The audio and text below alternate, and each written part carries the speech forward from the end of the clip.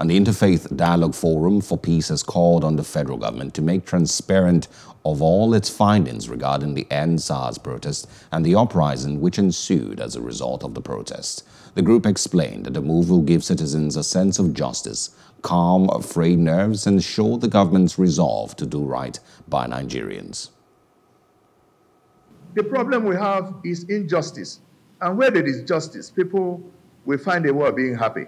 And so the issue is not a question of restructuring or not restructuring the country. We on this platform, we advocate for justice for all.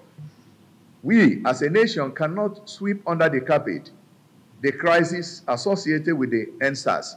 Therefore, government will, should treat it with the highest level of urgency by giving Nigerian public, international community, how government is addressing those demands. And all sorts of brigandage will not solve our problem. When people went out and burnt BRT buses in Lagos, it's not people in government that will suffer, it's the masses. The youth themselves that are going to suffer. So, and the issue of people hijacking this protest is what worries everybody. The EndSARS people were very honest, they were very peaceful, they were very organized, but miscreants, hoodlums, thugs, and hooligans hijacked the whole thing and they started burning all sorts of things and so on. And that is the problem we have in Nigeria.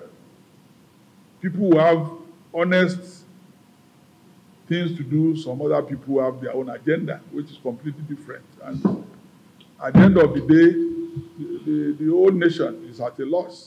Hello, hope you enjoyed the news. Please do subscribe to our YouTube channel and don't forget to hit the notification button so you get notified about fresh news updates.